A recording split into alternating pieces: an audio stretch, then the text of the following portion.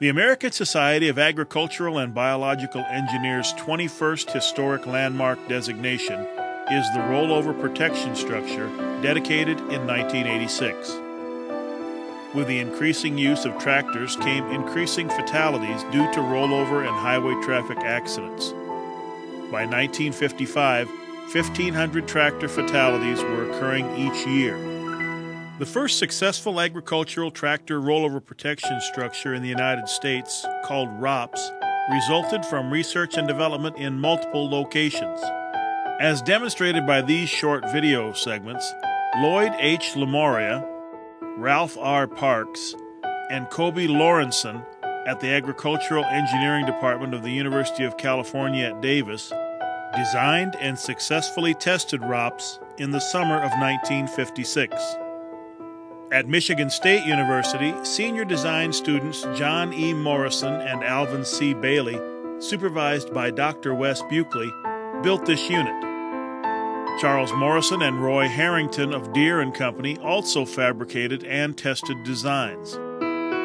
Warren I. Hanson, safety coordinator of the North Dakota Highway Department, took the next bold step in early 1959 when he equipped seven of the department's mowers with ROPS, and in 1960, all 190.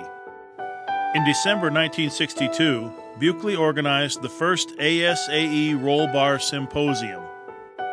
The roll bar designers urged immediate commercial production.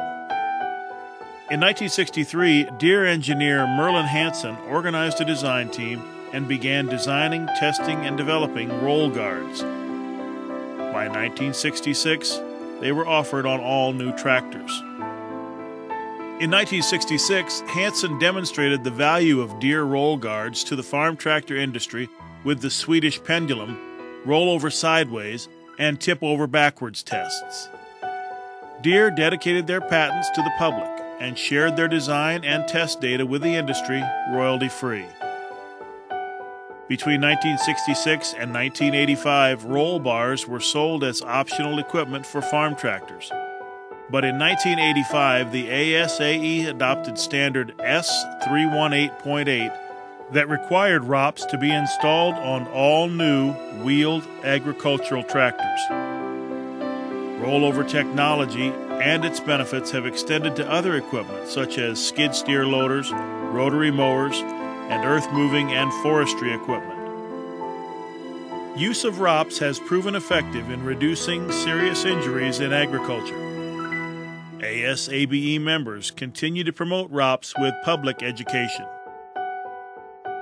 ASABE plaques commemorating this landmark can be found at Bainer Hall, UC Davis, Cass County Historical Museum in West Fargo, North Dakota, and Deere and Company in Waterloo, Iowa.